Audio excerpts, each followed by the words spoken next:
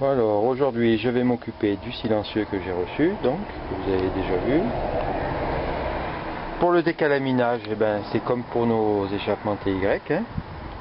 feu de bois ou barbecue ou ce que vous voulez, mais au feu. L'intérieur c'est le même, je pense qu'il y a de la paille de, quelque chose, d'acier, laine d'acier, d'inox, j'en sais rien, mais c'est pareil.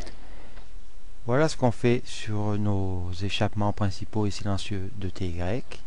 Eh ben c'est pareil, un gros feu de bois, le barbecue, ça décalamine, ça brûle les graisses, c'est nickel, plus qu'à gratter, souffler après.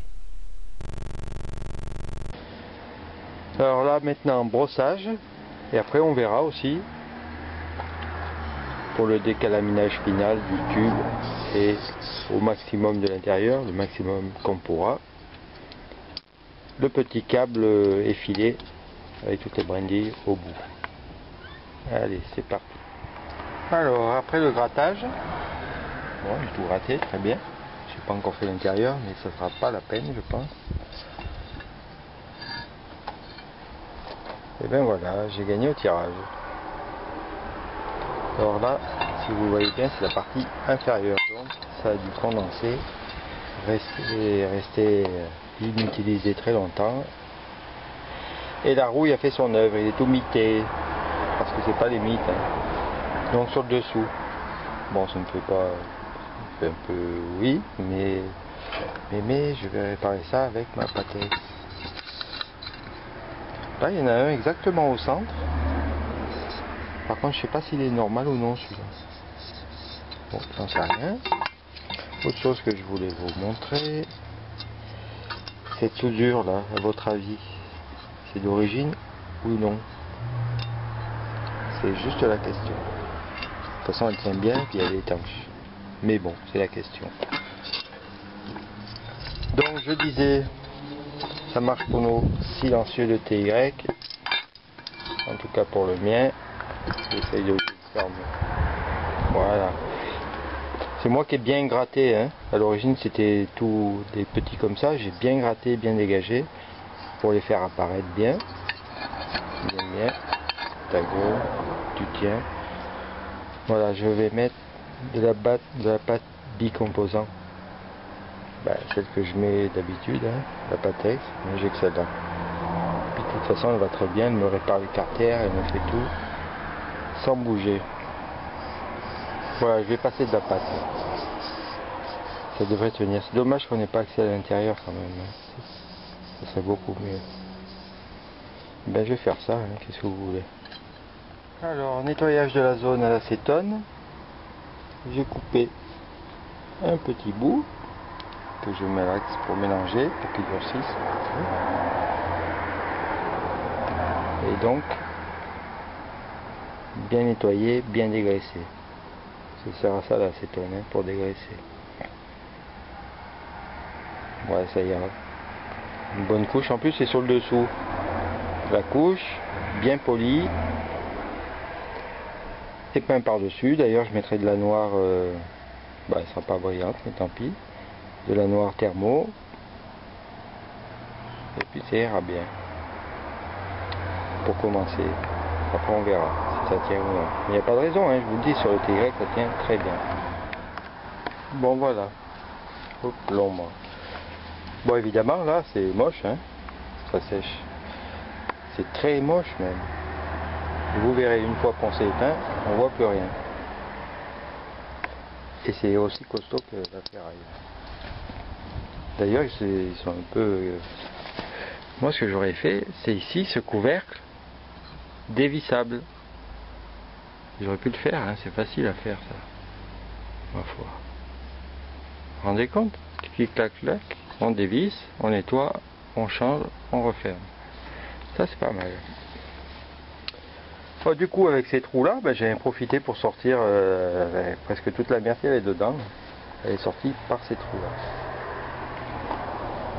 Voilà, voilà, voilà. Et la baguette qu'on passe dedans pour nettoyer, pour décalaminer, ben, vous connaissez déjà. Hein. Vous voyez, c'est la gaine de frein. Tout est piloché au bout. Et de ce côté, on met la perceuse et on y va on fait des allers-retours on peut commencer par le petit trou et ici par le, principal. Bien sûr, il faut qu'elle soit assez longue pour au moins arriver jusqu'à là, pour pouvoir nettoyer le tube. Après de ce côté, pas de problème, hein, c'est bien assez long. Et ben voilà pour le moment pour l'échappement. Demain je ponce, peinture euh, bien plus tard quand j'aurai choisi la couleur du cadre. J'ai toujours pas choisi. Alors avant de, finir ce que j'ai commencé hier donc, ma réparation, reste qu'à poncer, là c'est hyper dur maintenant. J'ai coincé le silencieux, d'ailleurs c'est l'échappement complet, hein. dans un étau les deux cales de bois pour pas abîmer la ferraille. La gaine de dérailleur de VTT elle est là, on l'enfonce d'abord dans le tube et après seulement on en manche sur le mandrin de la perceuse. Si vous le faites avant, c'est galère, surtout si ça tourne, c'est impossible. Et attention les doigts, hein. quand ça tourne, ça arrache tout. Voilà, je vais monter la perceuse et je vais vous montrer ça. La gaine est suffisamment longue pour arriver jusqu'au bout du tube. Et voilà, c'est parti. Et attention à la poussière. Hop, à l'envers.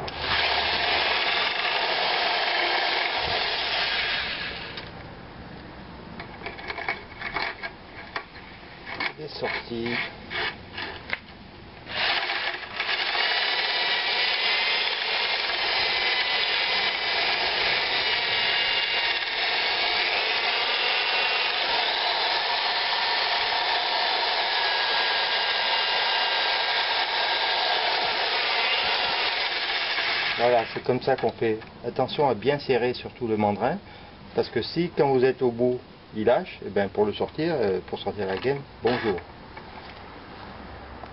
Alors ici j'ai refait l'embout en coupant, euh, en réfléchissant simplement. Pourquoi? Parce que ça rentrait pas dans la sortie. Maintenant ça va rentrer. Et on fait la même chose. Par contre on va rentrer maximum jusqu'à là, 10 cm mais ça ira. Et vous voyez qu'en fait la gaine, elle doit rentrer et puis s'entortiller là. Donc ça fait à peu près le tour.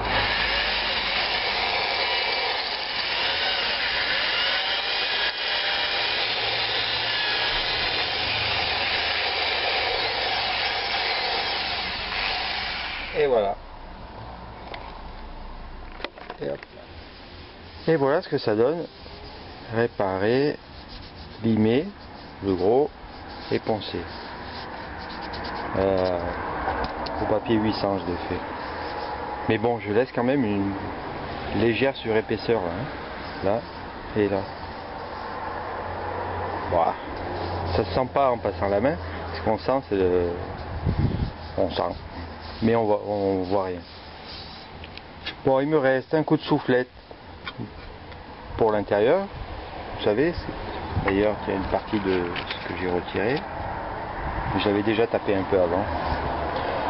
Coup de soufflette par là, coup de soufflette de l'autre côté, tout évacué, dégraissé, soufflette un peu à l'extérieur et peinture. On va avoir une idée de ce que ça fait, mais j'ai déjà soufflé un peu à la bouche quand même. Hein. Voilà, je pose et on surveille. Ben, j'avais bien soufflé. Hein. Pas pour rigoler quand même.